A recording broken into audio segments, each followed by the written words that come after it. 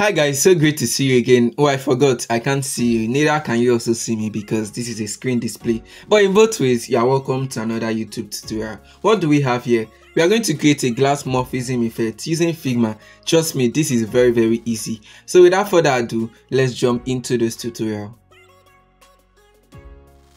These are just random shapes I just brought out to create this glass morphism effect. That doesn't mean you cannot use other images to create your own glass morphism effect because this is just like an example.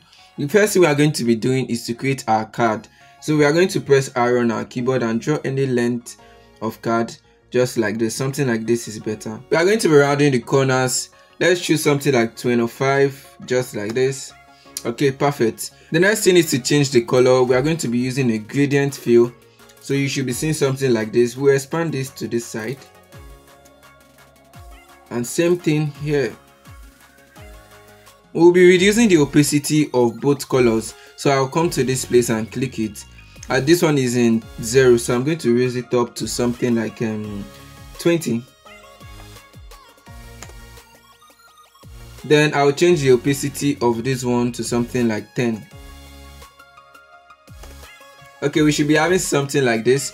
We are almost arriving at our destination. The next is to add an effect of which i will come down here and add our effect when you click the plus you should be seeing something like this. What we're going to be using here is background blur. So you click that and click the setting which is by the side of it. The blur we are going to be using is something like 40 so we can just come and choose 40 then you press enter you should be seeing something like this we are almost there.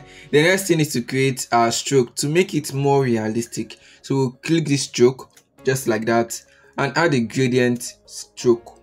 We just come over here and add a gradient stroke. The same thing we did for the shape colors we are going to be doing it here. Just drag this and the other one here. But the only difference is that we are going to be changing their individual colors. So i'm going to choose white for this end just like this. And for the other end I'll make this 100 the opacity. And for this other end I should be choosing a lighter color. Something like this. Okay this is perfect. Where is this running to? So it's just somewhere like this. Let me brighten it up a bit.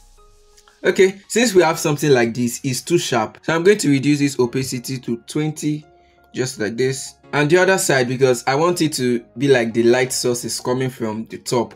So the opacity of this one is going to be like something 30 okay since we're already done this we're almost done with our glass morphism effect but there's one thing left to make it more realistic.